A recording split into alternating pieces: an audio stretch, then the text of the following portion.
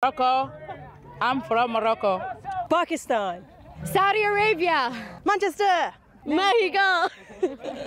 Jordan. Germany. Tanzania. It is a festival of football which has not only raised the profile of the women's game, but helped break down barriers and records on and off the pitch. With their motto of opportunity, equality, respect, nothing more, nothing less, today the Equal Playing Field group broke the record for the most players in a continuous game. However, it's what they're doing to get women's football accepted around the world that they are most proud of. Saja Kamal is trying to build a national women's team in Saudi Arabia. She faces continual challenges but insists one day they will be in the World Cup.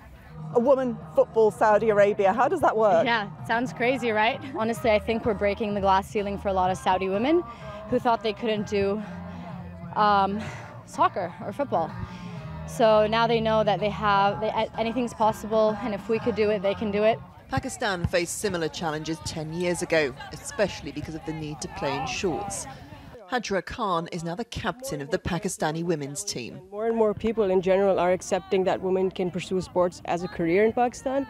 Although I wouldn't say the problem is solved, we're uh, a long way to go, but I feel like uh, we're getting there slowly.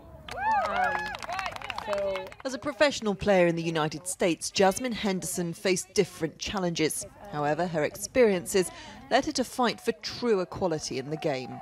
I do not want this to be a men versus women issue. Um, I want it to be something that celebrates our differences um, and really just highlights female athletes, you know, young and old, uh, from the grassroots level to the elite.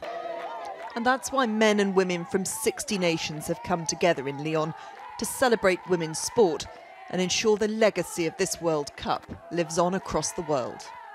Emma Murphy, News at 10, Lyon.